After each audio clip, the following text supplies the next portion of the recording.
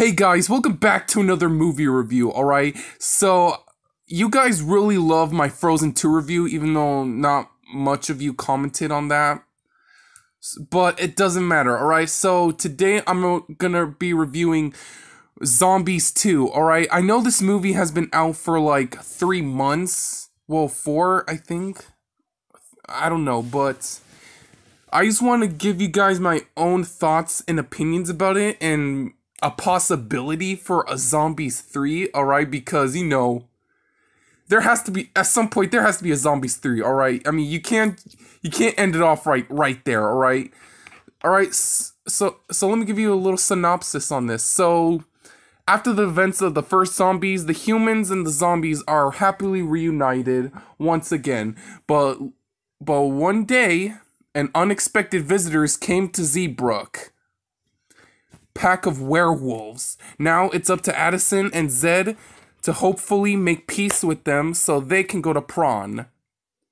Oh, as always, there won't be any plot points, details, or anything, alright? I'm gonna give you my personal opinion on it, alright? I might make a, f- a spoiler talk live stream. I know I said it with the Frozen 2 one. It's just I would love to make do live streams. So let me know if you want me to do a Frozen 2 spoiler talk live stream after this, alright?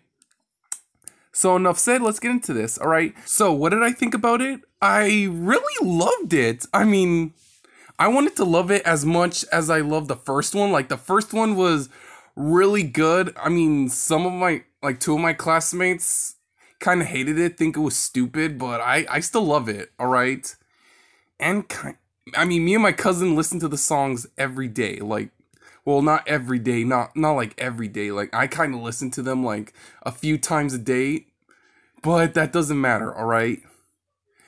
Okay, I really love like like in the first one like it dealt with high school problems for this it just well it just it just it's really dealing with relationship problems like how i'm dealing it right now like there's some points like like zed and addison are arguing then they make up and then and then and then later they just they just break they just get mad at each other again. Like come on can you, can you just two make out? Like i would love i would love you two to make out. Like, even though it's a disney movie like i know they i know disney has a reputation of being family friendly but but if they want to be on the violent side well not on the violent side like with their marvel and star wars movies but come on if you want to give us something we actually want to see at least at least you know maybe spice things up a bit. But you know what? I'm not even gonna say it but because reasons. But and also also one and then there's bucky.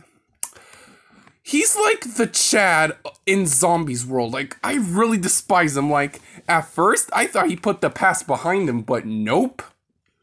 But nope. He he decided oh i'm gonna be racist again. I'm gonna be a racist bastard again all right and i just really hate him i just he's my he's my he's like the other least most hated characters next to Chad from Zom Chad from Descendants and Trish from 16. I mentioned that in my reaction video. All right.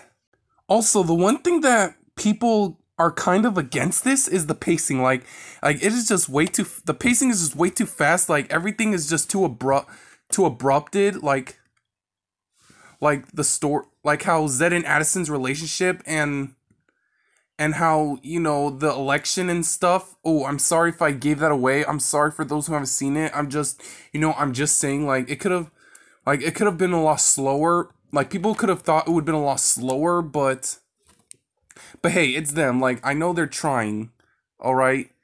And also also and meg donnelly has confirmed that that ho- she would pray and hope that there will be a zombies 3 like i'm hoping in the next one that it'll that there will be vampires involved. Like i don't know how that how they'll adapt to that. Maybe they could be like a in a twilight it'll be like a twilight situation. Like the vampires and the werewolves don't won't, won't get along and then and then probably probably either zed or addison will probably stop them and break this up break this up all right all right.